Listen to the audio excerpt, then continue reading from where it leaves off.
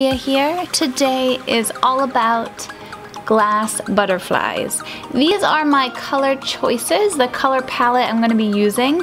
The customer said his wife's favorite color was orange, so I decided to do the main colors on the outside. The biggest piece is orange. And then I chose a neutral color, which is this kind of clear, striated type of white and then we have a pretty purple because orange and purple just look gorgeous together. Now this video is all about the cutting, the designing of the glass. There's no soldering in this video, so just a heads up if that's what you're looking for. What's cool about this is I got this tool, well actually my partner, it's my partner's tool that I steal, but here it is. It's got this awesome hammer at the end of it. It's very heavy, so it makes it very easy. Once it starts to fracture, you can really follow that fracture. You'll see me, it is a glass cutter, you'll see me use my glass cutter and then put it down and use his only for that hammer. I love it, I'll try to figure out what it is he always gives me a hard time. I'm always feeling it and putting it places he can't find, but it's really, really cool. I'm going to have to order another one. Now, when I design this, usually I will take like a clear piece, put it right on top of my template, but I and draw out the pattern. I always make sure though to just make sure that I draw on the outside of that line. That way, if I need to grind, I can. Obviously, if I start drawing on the inside of the line, it might be too late and I might have a huge gap there. So always make your piece a little bit bigger if you need to. Now the point of this video is to show you about like your choice in glass. A lot of glass that you get will have these gorgeous, gorgeous stripes and like swirls and flow and you want to utilize that. I mean, that is actually the biggest part of the design. It's not just your template, it's the type of glass you use can show movement. Um, it can show a lot of beautiful things. It can just give the piece a lot of beautiful attributes.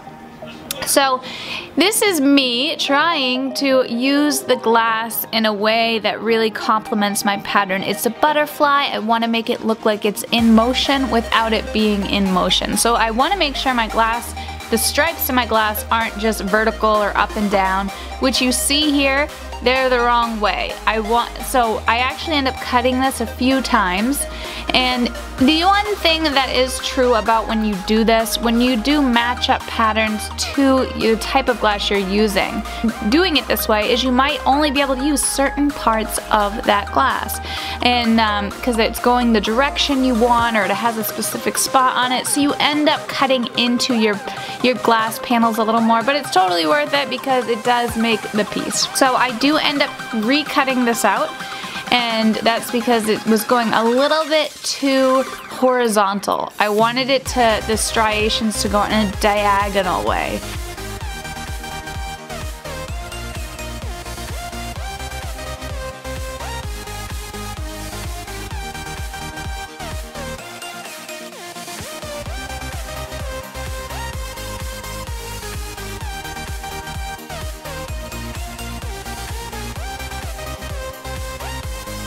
Actually, my partner ended up coming in to show me how smooth he is with his glass cutter. Um, and, you know, he is really good at it, but not this part is not the part I'm talking about, but he will use those pliers in like the craziest ways eh, on things that have curves and all these angles and he just puts like the slightest amount of pressure on them and seems to like get a solid cut which is really cool. I'm a little too impatient for that and I'll just cut away as I go.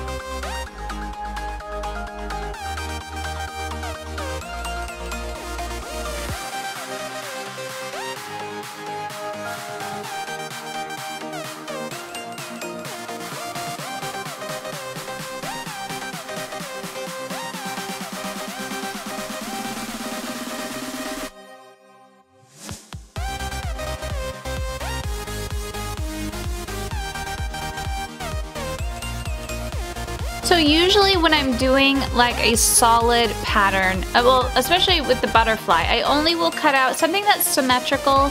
I will only cut out half of the pattern as you see.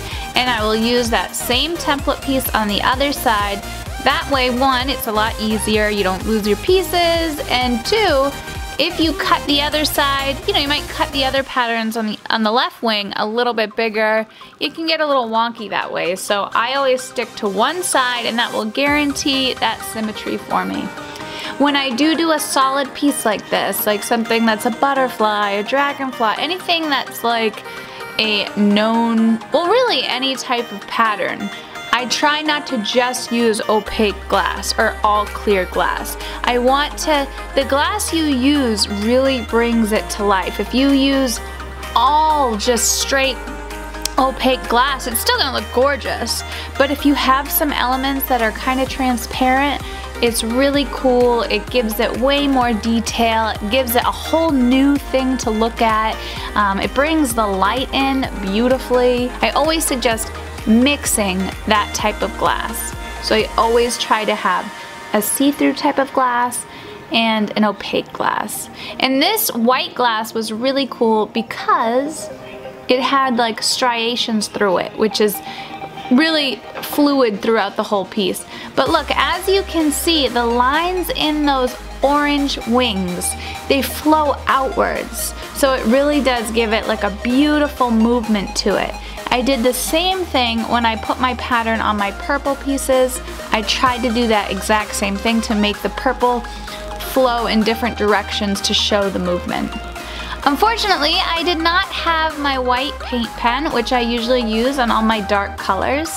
And I have this really thick, thick black textured glass that I wanted to use for this little beauty's body and it was just such a pain to cut through I can't even tell you. It's just it's it was pretty crazy. I'm sure you can see the struggle in me. And I did not have my white paint pen so I could barely barely see the lines. So what I ended up doing is cutting most of it like that I could see. And I just put my paper template right on it and I brought it to the grinder and I grinded it down. So don't get all bummed out. If you can't see your line and you're using a dark piece of glass because you can just simply cut it a little bigger and grind it down to where you want. When using your glass grinder, they usually say to keep it flat on the table of the grinder.